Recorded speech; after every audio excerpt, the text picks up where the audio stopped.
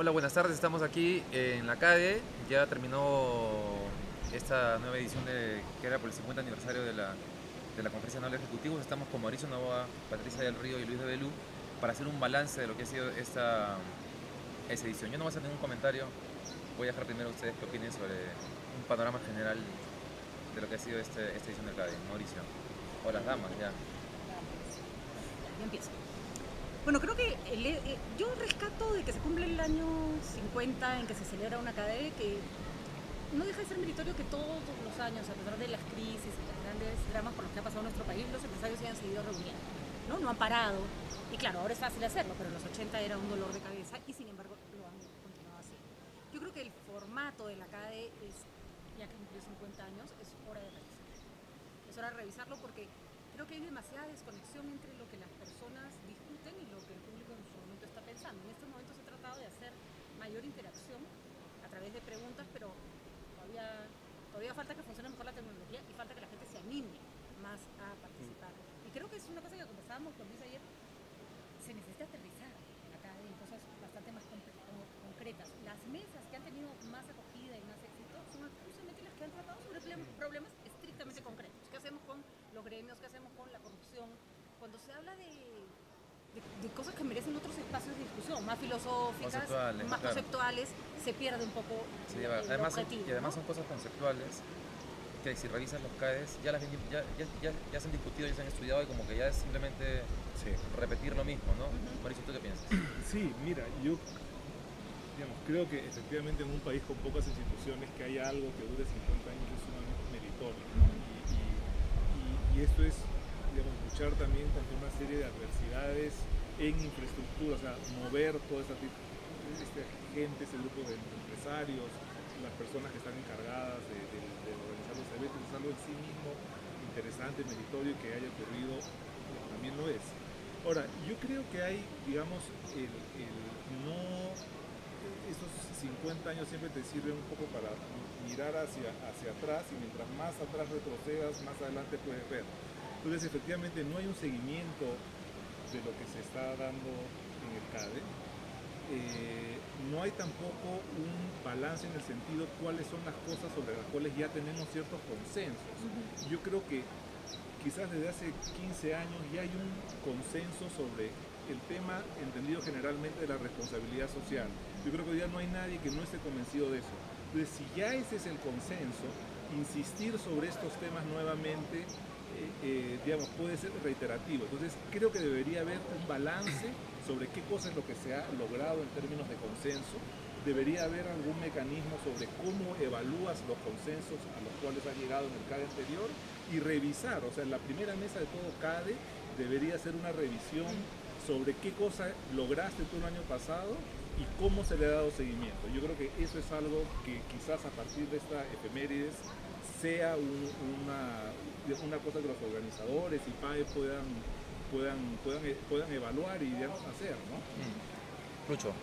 Eh, bueno, yo coincido en realidad con casi todo lo que han estado diciendo. Me parece que se- sí se está haciendo reiterativo con determinados problemas, particularmente con estas cosas conceptuales que se quedan flotando y te dejan esta sensación de en qué país viven, en Finlandia. O sea, una de las charlas del primer día, el de la tarde, fue una cosa, me parece que es el ejemplo más patente de eso. ¿no? Ahora, que de, de dos días y medio de reuniones, los dos platos fuertes sean, como decías tú, el, el- cuando se habló del tema de institucionalidad y el tema de agremiaciones y el tema de, de corrupción. Después de eso, en realidad, los dos este, expositores principales que han venido con cualquier cantidad de, de, de fanfarrias, si quieres, y de, y- y de anticipación de un montón de gente. El primer día la gente quería salir corriendo. del- del- Bueno, mucha dos- gente se salió dos horas, ya- dos horas era es francamente demasiado. Y el segundo día, muchos lugares comunes también. Y, y eso me lleva a la- a la última parte de mi reflexión. Este, es muy autorreferencial, como decíamos hace un rato. Es como que yo contrato, y como, como lo conversé contigo también, yo soy un, un- un gerente general de un banco muy grande y contrato a otro gerente general de otro banco muy grande para que se venga y me haga una, una consultoría de, de banca.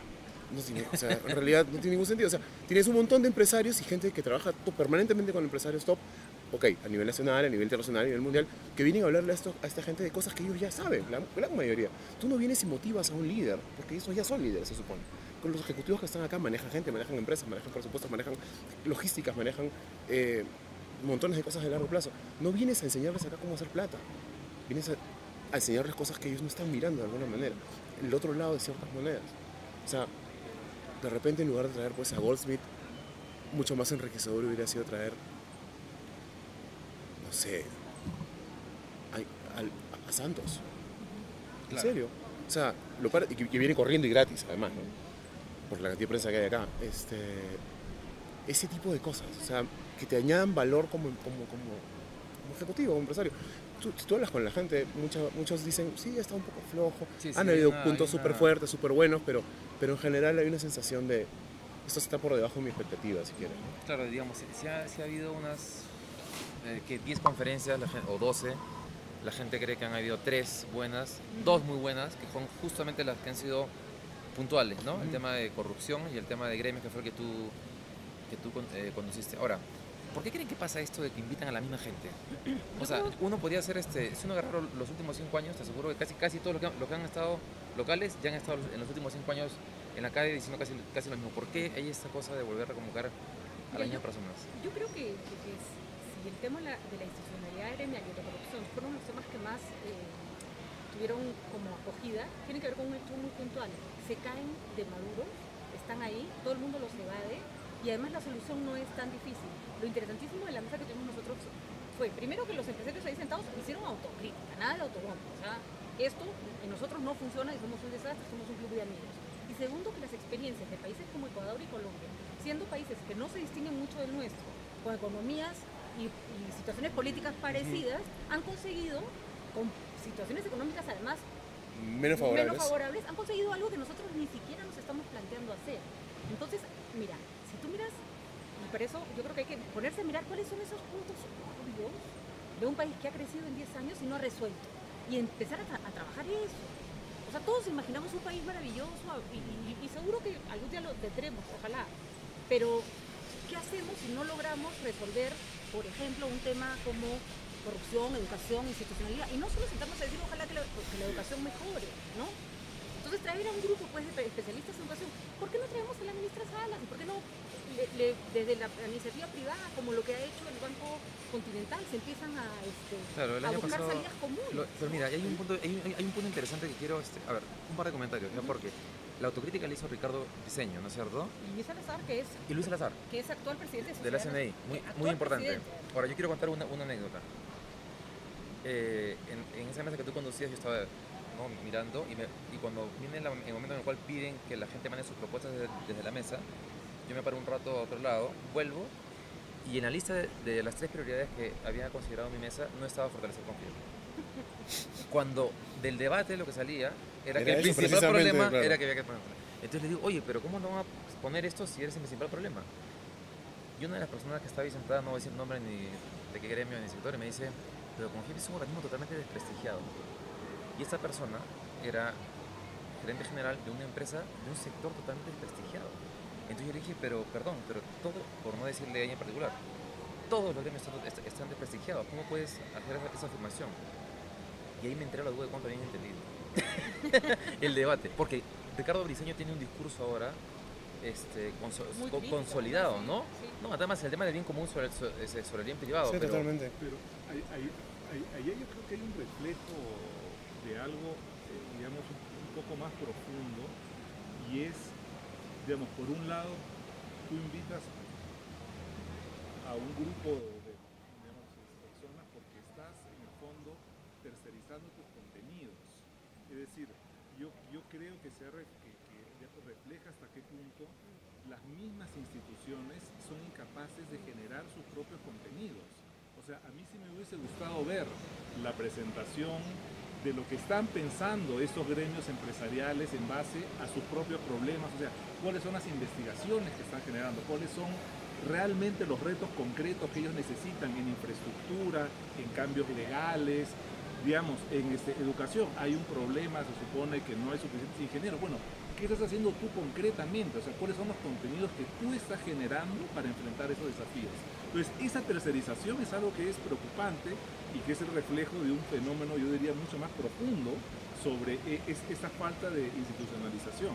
Es tan alucinante esta suerte como de desconexión de los empresarios con el mundo, desconexión, Sí, sí, ¿no? eso- que en dos días viene la- empieza el tema de la de los empresarios no son capaces de mandar, por ejemplo, un mensaje al país, ¿no? O sea, Claro, nosotros claro, creemos ¿cuál va esto. a ser? Claro. O confíe, pues salió a decir, un representante confíe que no a la revocatoria de Villarán. Y no sé, a mí, o sea, que la gente decida, pero eso es el, el proceso de revocatoria, puedo estar en contra o a favor, pero sí me parece que el empresariado como gremio debería poder tener una posición ante el país Claro. en conjunto. No, ¿no? pero está bien que la Para hayan tomado, sí, ¿no? Eso- no, o para eso- no.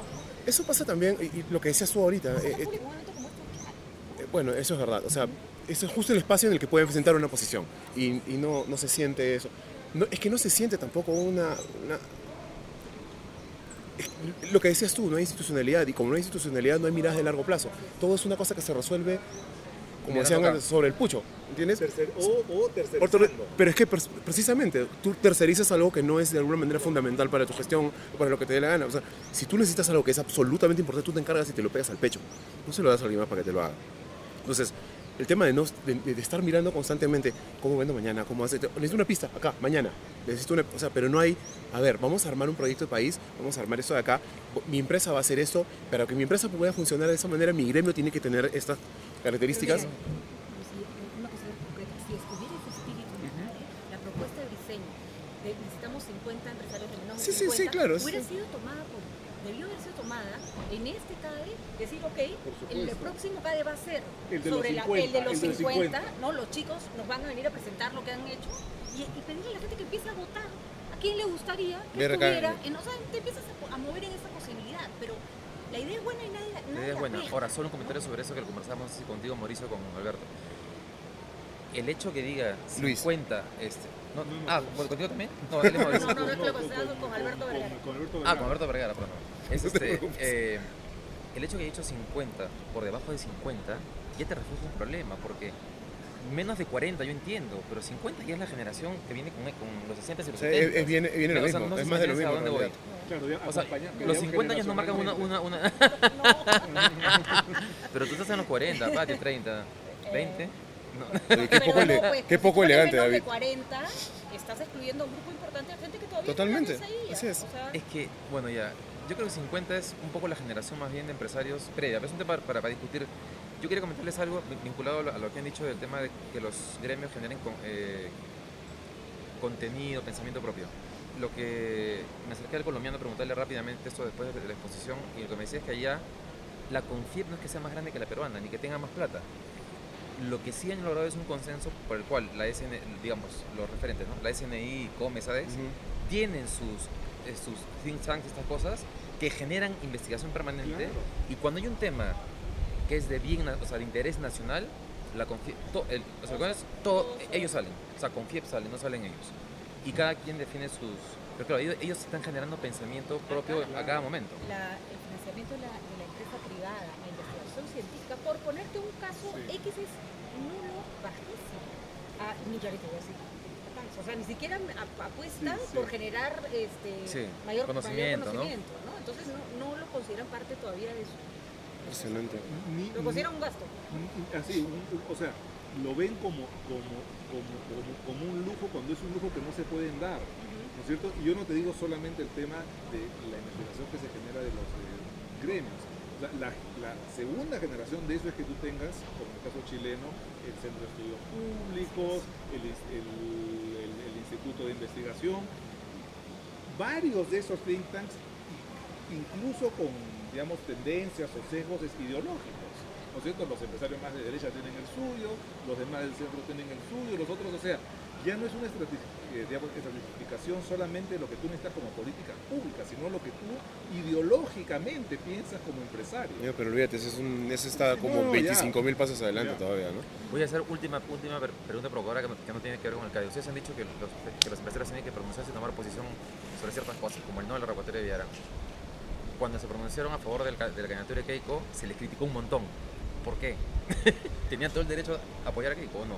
Si era una posición gremial, Pero se les criticó un montón. Pero es que no quiere- la o sea, el hecho de que tú tengas una posición no quiere decir que sea incriticable. ¿Cuál es la diferencia? No, ya sé, yo sé pero... sí, ah, por No, se les criticó por Sí, tomar sí, posición. Sí, sí. Yo creo que tenían todo el derecho de tomar posición. Pero se les criticó por tomar posición. Bueno, pero ¿y qué- el problema con los, con los empresarios es que tienen que acostumbrarse a que los critiquen, pero que los critiquen por lo que hacen, no por no hacer nada. ¿Te das cuenta? ¿Tú crees que si salen a decir que no al revocatorio Irán, no lo van a hacer puré? También, bueno, pues vale la pena que los hagan puré, sí. Y ellos también creían, supongo que valía la pena que los hicieran puré si, sal- si apoyaban a Keiko porque les parecía nefasto que salieron mala. Si Humala hubiera aplicado el plan de gobierno que tenía planeado. Por cierto, 75% de aprobación a la gestión de Ollantumala en la encuesta que he hecho apoyo a los empresarios. Y en ese momento Humala decidió que no venía porque ¿para qué? No, porque ya, si ya lo quieren.